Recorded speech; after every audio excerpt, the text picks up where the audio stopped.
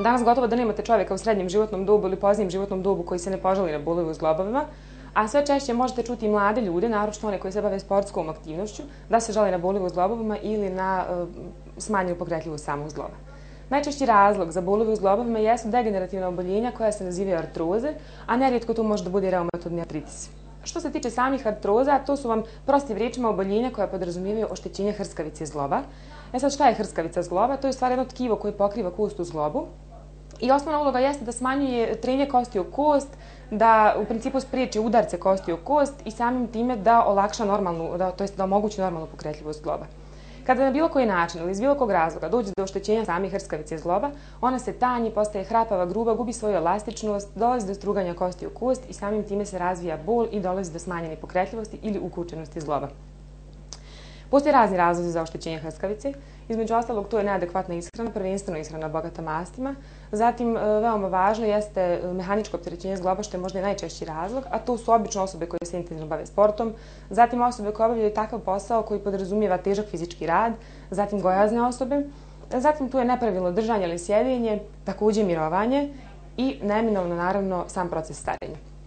Kada se artruze već i razviju, dosta ih je teško ličiti, Generalno ne postoji neki lijek koji će tek tako da e, izliči artrozu, međutim, naravno, ako se već razviju, treba ih blagovremeno i uporno liječiti i postoje dvije metode liječenja. To su s jedne strane lijekovi, a s druge strane hiruška intervencija, kada za to naravno dođe vrijeme, jako uopšte za to dođe vrijeme.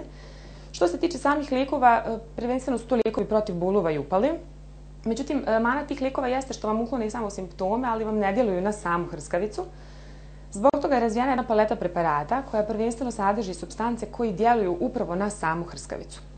Između, e, među tim substancama, od tih u stvari preparata, jedna od najznačajnijih substanci jeste glukozamin sulfat.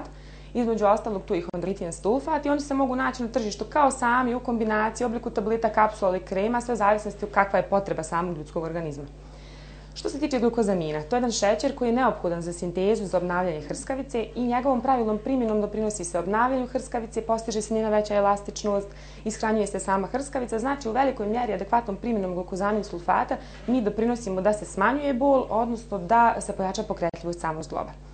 Na tržištu se može naći preparat čistog glukozamin sulfata, u pitanju su kapsule od 500 mg i preporučuje se primjena 1500 mg glukozamin sulfata u podijeljenu u tri doze, znači tri puta po jedna kapsula nakon jela i već nakon mjesec dana primjene možemo da uočimo prve pozitivne rezultate, a to je smanjenje bola i poboljšanje pokretljivosti samog zgloba. Glukozamin, kao što sam već rekla, može biti i u kombinaciji sa drugim substancama. Najčešće je to hondroitin sulfat, koji je i tekako važan za obnavljanje hrskavice. Doprinosi u stvari samoj ishrani hrskavice i njegova primjena otprilike od nekih 200 do 500 mg dnevno.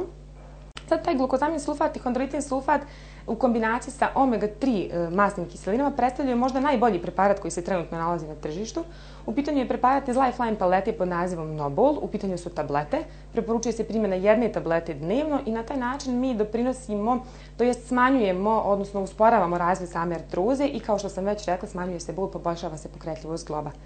Zašto su ovdje važne opšte omega-3 masne kiseline? Ovdje je najvažnije njihovo protivupalno dejstvo, jer skoro svako oštećenje zgloba je praćeno i izvisnom upalom, tako da kada smanjimo upalu, samim time doprinosimo i pozitivnom rezultatu primjene ovih preparata. Također možemo naći glukozamin u kombinaciji sa MSM-om i mentolom u formi krema. U pitanju je Nobel krem koji se utrljava u zglobove i mišiće i već nakon 5 minuta se smanjuje bol, odnosno njihova ukučenost. Ono što je značajno također napomenuti jeste da za liječenje samih artruza, već znači razvijenih artruza, postoji injekcije hijaluronske kiseline. U pitanju je također substanca koja obnavlja samu e, hrskavicu, direktno se daje u zglob i naravno da doprinosi izuzetno mnogo u liječenju samih artruza. Međutim, kao zaključak, ono što možemo izvesti jeste da treba blagovremeno reagovati kad su artruze u pitanju. Znači, e, značajno je liječenje, međutim, još značajnija jeste sama prevencija artruza, a to je upravo primjena glukozamin sulfata ili kombinacija glukozamin sulfata sa hondritin sulfatom.